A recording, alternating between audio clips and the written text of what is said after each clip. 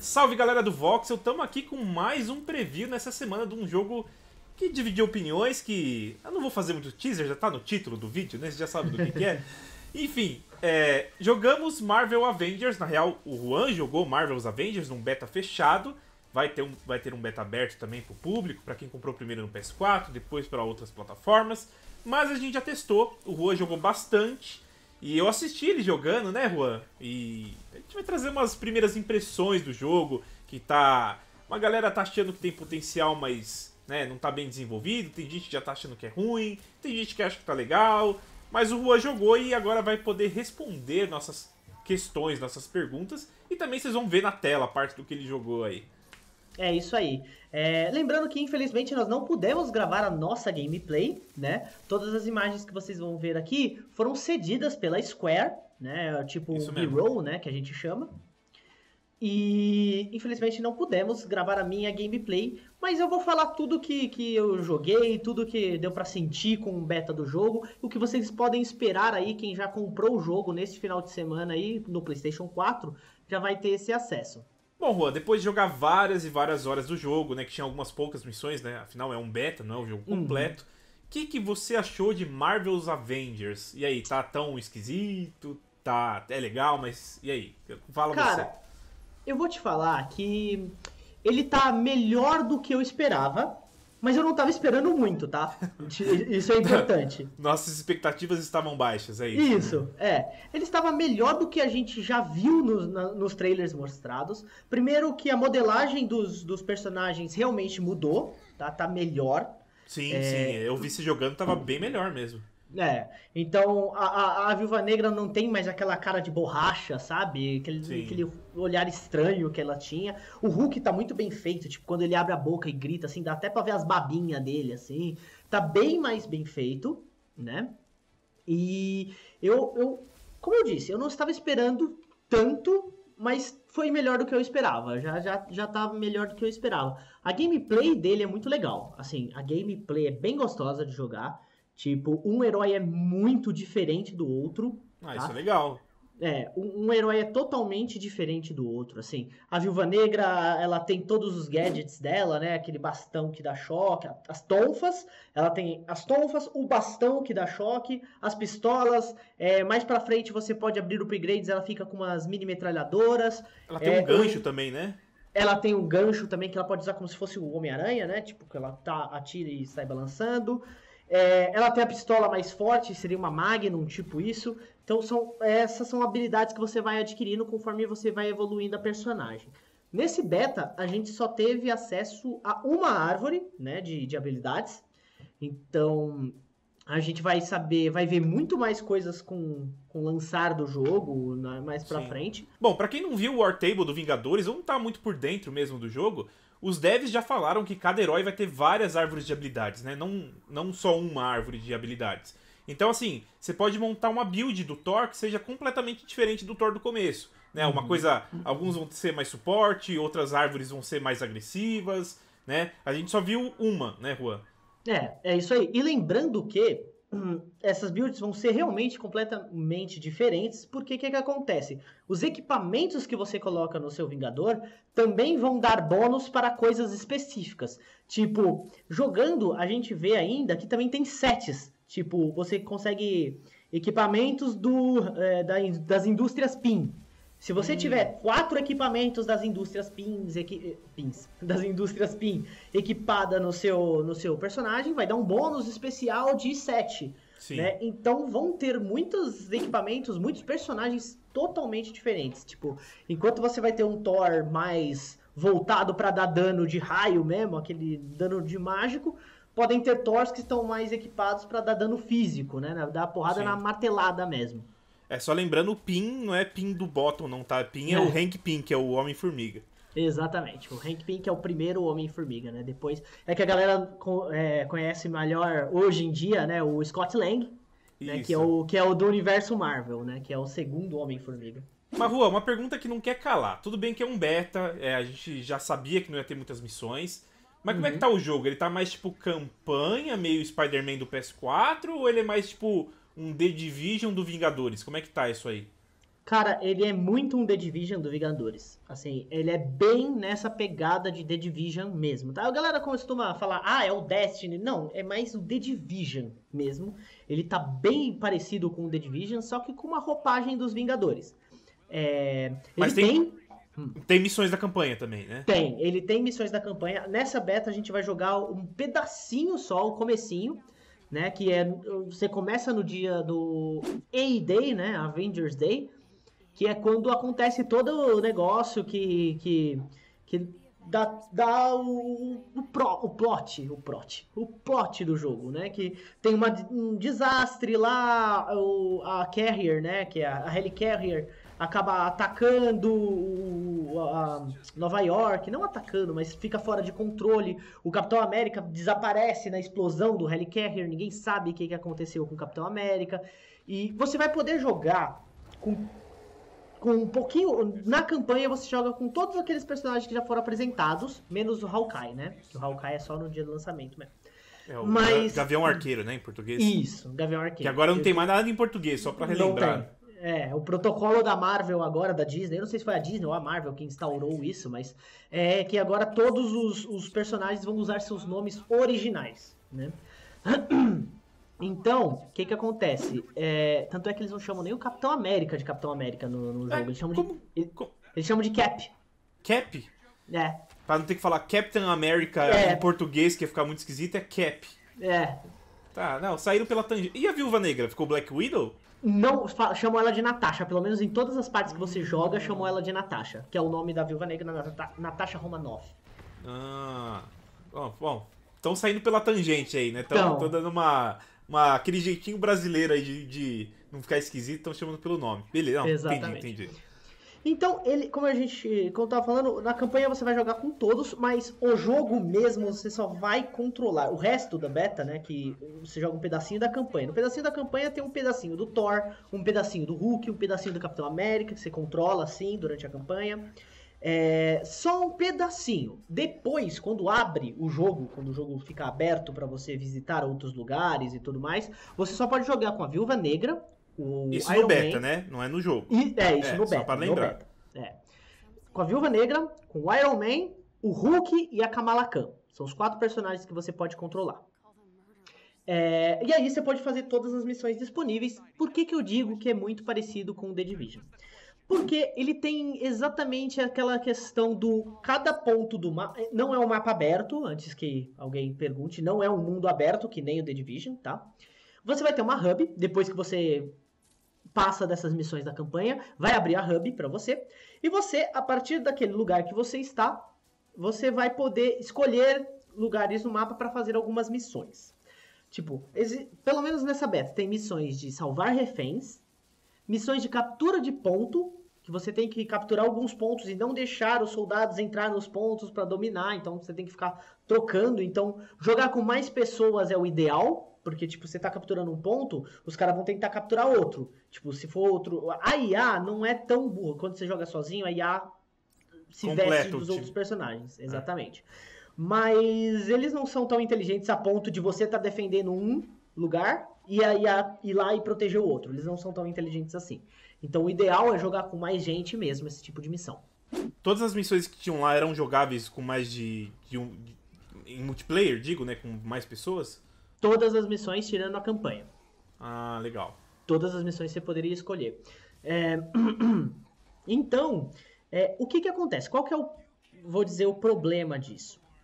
É, por ser uma beta, é importante lembrar, por ser uma beta, você não tinha muitas opções do que fazer, tá? Então, essas missões, por mais que, por mais que não- não estava liberado em muitos lugares, então toda missão parecia que acontecia no mesmo lugar, tipo, É, eu vi você fazendo duas missões que, tipo, pareciam um mesmo corredor, assim. Exatamente. As missões, pelo menos na beta, parece que acontecem todas no mesmo lugar. Tipo, só muda uma coisinha ou outra. Sua missão muda, em vez de salvar refém, você vai ter que capturar ponto. Mas é o mesmo mapa.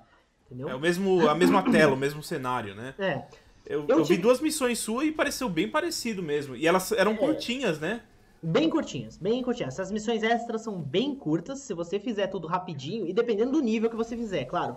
Também você pode escolher o nível da missão para você ganhar mais experiência, para ganhar outras coisas. É, o que que acontece? Eu tive a oportunidade de conversar ontem com os produtores né, do jogo, né? Obrigado a Square que ofereceu essa oportunidade aí pra gente.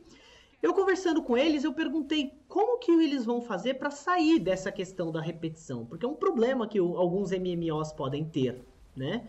De você estar tá sempre fazendo a mesma coisa, parecer que você está fazendo a mesma coisa. É, isso cansa, né? Cansa. Eles, eles meio que falaram que no jogo aberto, né, no jogo final, quer dizer, vai ter muito mais diversidade de missões. Não de, de missões, mas de mapas. Vai ser muito diferente. Além do que, você vai poder usar outros personagens. É, além desses quatro. Então, a gente vai ter. Vão, a gente vai ter muitos personagens. Eles falaram que a gente vai ter muitos personagens, tá? O Homem-Aranha já tá confirmado como exclusivo do PlayStation 4. Chega em é. 2021 e gratuitamente, né? Isso. É, a, o Hawkeye tá confirmado no dia do lançamento. Além e o Scott Lang, né? O Scott Lang também, provavelmente. Já, eu não sei se ele já tá confirmado, não me lembro se ele tá confirmado, mas. E outras coisas também que aparecem, que eu até brinquei com o produtor, ele tava com um cenário montado de, de Marvel, e atrás dele tinha um pôster da, da, Miss, da Miss Marvel, não, da Capitã Marvel. E, eu, e, e no jogo, a Kamala Khan usa uma bolsa que tem um pin da, da Capitã Marvel. E eu perguntei se provavelmente, eu até brinquei com ele, provavelmente aí essas dicas aí são que teremos em breve a Capitã Marvel. Ele falou que ele não podia confirmar, mas que podemos esperar aí muitos outros Vingadores a serem entregues para o jogo. Legal. Então, essa vai ser uma das maneiras que eles vão ter de, tipo, acabar, meio que quebrar o negócio da repetição. Mas mesmo assim, pelo menos no beta, dá a impressão de ser repetitivo. Pô, do que eu vi você jogar, tipo, me pareceu muito que você meio que volta nas mesmas missões para upar outros personagens, né? Para fazer uhum. as missões semanais e diárias dele para ganhar XP. E daí você vai ganhando novos pontos, vai liberando novas habilidades na árvore de habilidades. E aí, é. tipo, para você não fazer isso sozinho, ser meio chato, você chama seus parceiros lá. Daí o cara pode ser o Hulk, o outro pode ser a. Não vou falar Viúva Negra, agora é Black Widow, né? Não pode mais falar. O outro vai ser o Thor, enfim. É, é, ele parece ser uma coisa meio que assim para você jogar em grupo e se divertir em grupo. Porque a é. parte de combate me pareceu bem bacana, assim. Sim. Eu achei até mais refinada do que eu vi você jogar, não joguei, mas me pareceu mais refinada do que eles mostraram em trailer e em gameplay. Eu achei até uhum. esquisito, porque faz tão pouco tempo, né? E o que eu vi você jogar parecia ser muito mais legal do que eles mostraram. Me surpreendeu, na verdade. É, então, o combate ele tá bem legal. O combate é bem legal. Você pode usar várias habilidades. E isso porque nem todas as árvores de habilidades estavam abertas, né? É, lembrando que só tá em uma aberta aqui no beta. É. E vamos ter mais coisas. Assim, eu usando o Homem de Ferro, que foi um dos meus personagens preferidos, ele, a ult dele é a Hulkbuster. É, ele tem. Ele pode usar laser, pode usar foguetes, pode usar os. É, não é repeater que chama. É, é um, repulser. Repu é, pulsor, repulsor, isso. Repulsores, é, né? Tipo... É. E, e tem várias possibilidades. Você tem finalizador, golpes finalizadores também diferentes, dependendo de onde você pega o inimigo. Então, o combate em si tá bem legal. O combate eu gostei bastante mesmo. Tanto é que eu fiquei na sala de treinamento um tempão, testando cada personagem, jogando com cada personagem. E eu gostei muito. O Hulk também tem várias. Todo mundo fala, ah, o Hulk só bate, mas ele tem vários poderes, vamos dizer assim, interessantes. Né? O Hulk tem aquela batida de palma que, tipo, sai uma onda de ar e arrebenta todo mundo. É, ele pode pegar o Gamma Crush, né? Que ele sai, que ele pula e bate com, com, com um pedaço de, de pedra, de parede, com, com, com nos, nos adversários. Ele pode pegar a pedra, o ataque. Todos eles têm um tipo de ataque à distância. Né? O, o, o, Hulk ele pega uma pedra, enfia a mão no chão, arranca concreto e taca nos inimigos. A Kamala Khan estica a mão dela para acertar os inimigos de mais longe. É, a Black Widow, nem se fala, ela tem pistola, tem armas. O, o Iron Man também tem as armas dele. Então, mas o combate é muito diversificado, é bem legal. Eu gostei muito do combate. Eu fiquei um tempão lá na área de treinamento treinando, mostrando, é, pegando um pouquinho como se faz cada coisa. E um ponto que eu achei bem interessante é que cada personagem, eu vou colocar bem entre aspas aqui, cada personagem tem um passe de batalha, vamos dizer assim, tá? Mas eu vou dizer um passe eu coloquei entre aspas porque esse passe de batalha não é comprado, tá? Não é, não é fora do, Não tem nada assim, nenhum tipo de, de currency de verdade para você ter ele. Você não precisa comprar. Cada personagem tem o seu passe de batalha. Então você vai cumprindo as missões diárias e semanais e vai ganhando alguns pontos para que você possa desbloquear até o nível 20, se não me engano, ou 40. 40, 40, 40. 40, 40. Até o nível 40, várias coisas. Aí tem é, algumas skins. Aí tem é, aqueles cards que você pode colocar de apresentação, né? Card de apresentação do seu, do seu, do seu perfil. É, tem tipo o Call of Duty, né? Que você emotes. coloca aquela imagenzinha, né? Isso. Tem emotes que você pode usar durante as partidas, dancinhas dos personagens, não dancinhas, né? São emotes. É, alguns dos personagens até dançam. Mas. Então tem esse tipo de coisa. E cada um tem o seu. Se isso for uma coisa que eles vão colocar a cada temporada, ter coisas novas para cada personagem, cara, é muito conteúdo, de verdade. É muito conteúdo mesmo, se eles E que forem fazer isso. você desbloqueia só jogando, né? Você não precisa ficar É, comprando Isso. nada. Isso você desbloqueia só jogando. Conversando com os produtores ontem, eu também tirei essa dúvida. É, vão, vão ter cosméticos é, compráveis com dinheiro de verdade, tá? Vão, vai ter, vai ter isso. não- Eles já me confirmaram que. E o que, que acontece? Serão coisas separadas. Você vai ter os cosméticos, os cosméticos que vão te. Que vão ser só comprando e os cosméticos que você só vai conseguir no jogo. Então tem essa tem esse negócio aí, mas eles me garantiram que nenhum deles oferece nenhum tipo de alteração na gameplay, na força do seu personagem. Ah, legal. É só skin mesmo, né? Exatamente, é só skin, só skin. Inclusive, só fazer um último adendo aí, que acho que eu lembro que, que eu vi você jogando. No Uhum. passe de batalha, ou seja, só de você ir jogando e desbloqueando os níveis, algum dos níveis dava inclusive essas gemas que são da moeda do jogo paga, né? Então você não precisa necessariamente comprar gemas, você pode ganhar jogando também, né? É, então, lá tem, é, é verdade, muito bem lembrado. É como se fosse o Fortnite, né? O Fortnite, quando você compra um passe de batalha, se você jogar o passe de batalha inteiro assim, você consegue comprar um próximo passe de batalha, né? É, no caso aqui, você vai ganhando esses dinheirinhos, essas currency que você pode comprar, ou ir jogando e, e habilitar para comprar na loja. É, então é uma outra forma aí, vamos ver se se vale a pena, assim, parece um jeito bem legal, assim, quem realmente se empolgar com o jogo, pegar e jogar mesmo, fazer as missões diárias, fazer as semanais, porque assim, missão diária, tem bastante missão diária e são quatro personagens no começo, quer dizer, na beta, já, já tem muita coisa pra fazer, né? É, se Porque- vamos pensar que você tenha missões diárias pra fazer de todo mundo. Você teria do Capitão América, do Iron Man, da Viúva Não, Negra, do Thor, Capitão da América Kamala. Não? Não, na beta não, a beta Ah, não, não na beta, lá. digo, Ah, tá, pensando no jogo final, né? Você teria, tipo, missões diárias do Capitão, do Homem de Ferro, da Viúva Negra, Thor, Hulk, Kamala Khan, daí depois do, da, do, Hank, do, do, do Homem-Formiga, depois do Hawkeye. Tem, sei lá, bastante personagens pra você, ter, você ficar jogando e ganhando essas missões e ganhar mais gema, mais dinheiro, mais skins, enfim, bastante coisa, né? Não, é, esse ponto é, é onde que eles estão apostando, mas mesmo assim eu tenho minhas ressalvas. Porque as missões não podem né? ser repetitivas. É. é, Eu, eu deixo essa ressalva aí pra galera ficar com, com o alerta ligado. Porque talvez mesmo com tantos personagens diferentes, fazer sempre a mesma coisa se torna chato. Então tem que tomar um pouco de cuidado com isso. Né, ele, o pessoal falou, o jogo, ah, importante, o jogo, a beta vai estar em português, pelo menos aqui a gente jogou está em português, tá? Dublagem, legendas. É, vez ou outra eu notei um errinho de, de dublagem, não um erro de dublagem, mas partes que eles falam em inglês, porque o jogo não tá pronto ainda, não Sim, sei é direito, normal, né? Normal, isso é normal.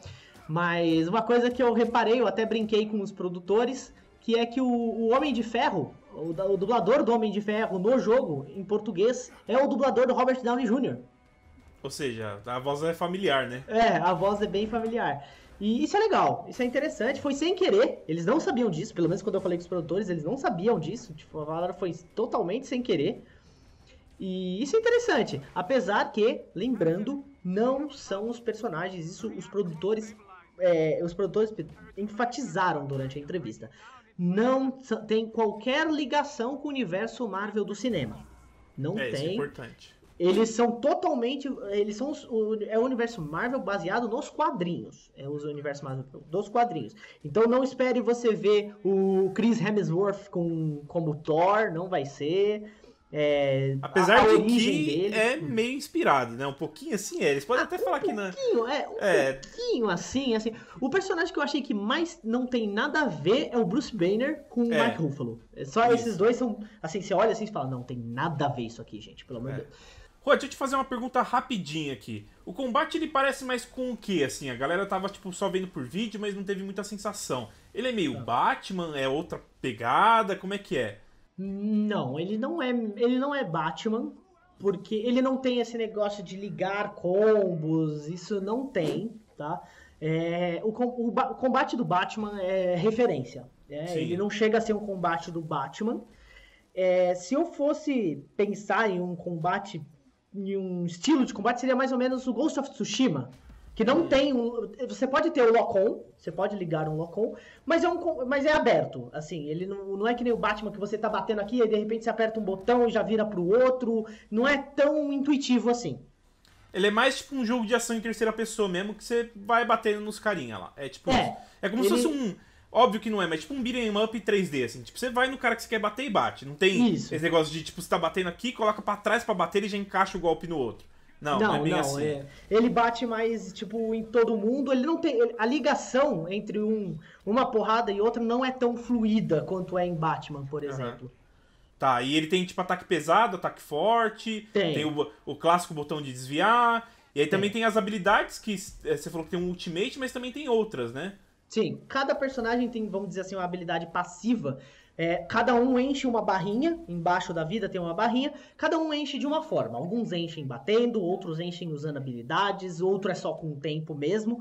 E cada um faz uma coisa quando aquela barra enche. O Hulk, por exemplo, ele fica com rage, é, ele fica todo putaço e sai batendo em todo mundo e ganha life steal, né? Cada porrada que ele dá, nesse modo ele recupera a vida dele. Então cada um tem uma coisa diferente. E o do Homem É. de Ferro, por exemplo, o que, que faz a barrinha dele? O do Homem de Ferro, ele tem essa barrinha que serve para os propulsores. É como se fosse a munição Ah. dele, né? É tipo o combustível dele pro.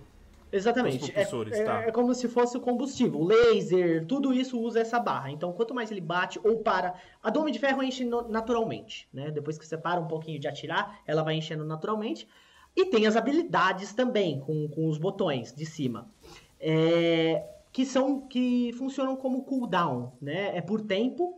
Né? A não ser que você tenha algum equipamento que mude isso, que faça ficar mais rápido tal. É por tempo, normalmente. E aí você pode usar a habilidade do L1, a habilidade do R1 ou a ult, que são os dois juntos. Legal. Então, só ter, não confundir nada aqui, a barrinha que sobe é pra usar tipo habilidades únicas de cada personagem, que não são as especiais. Não né? são as Então, especiais. é como se fosse uma barra de AP, mais ou menos, né? Pra umas coisinhas extras, né? Isso. E tem as habilidades normais, especiais que usam é, cooldown, que é, É. ult e até os mísseis do Homem de Ferro, alguma coisa assim.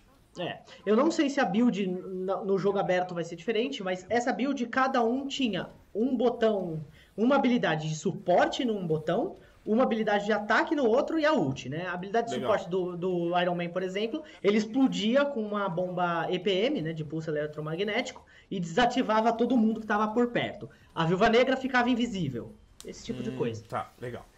E, por último, você falou também de equipamento. Deixa eu só entender aqui.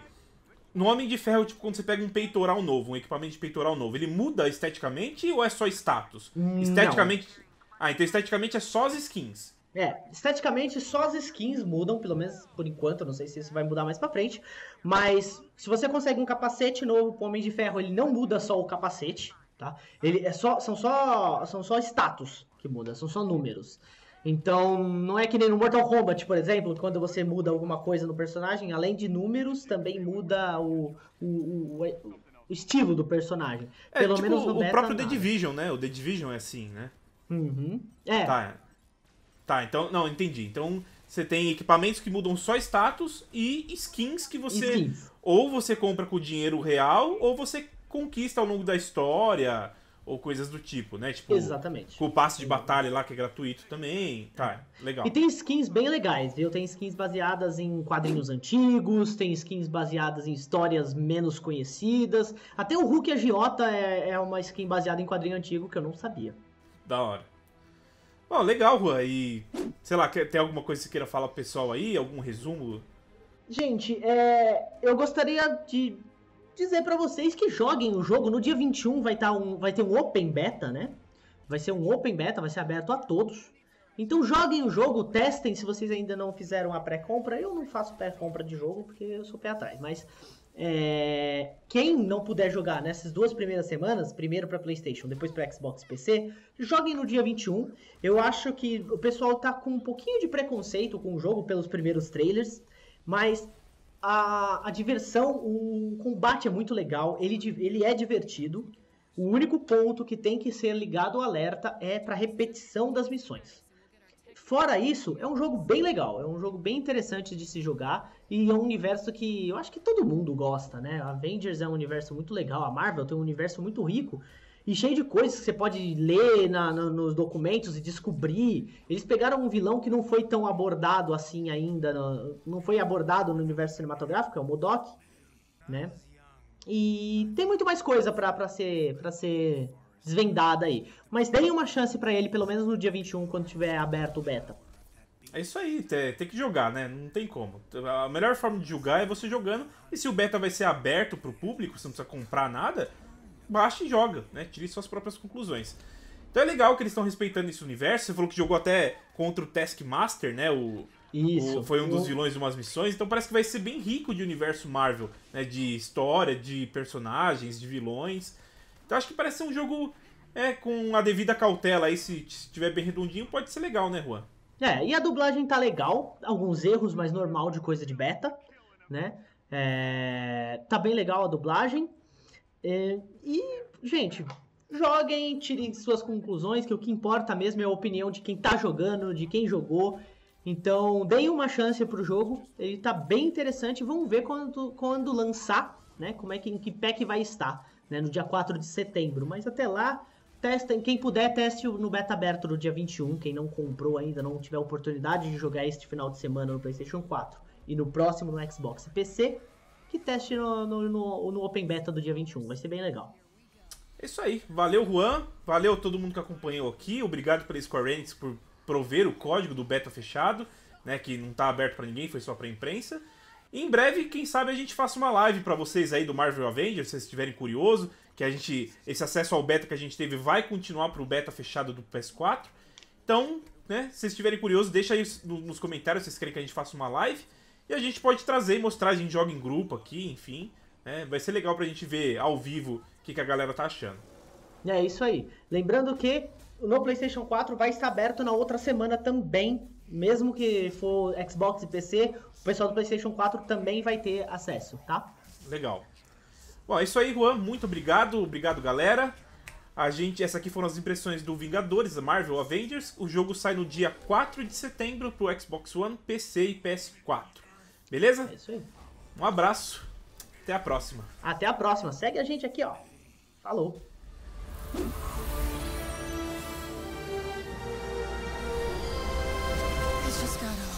lot weirder.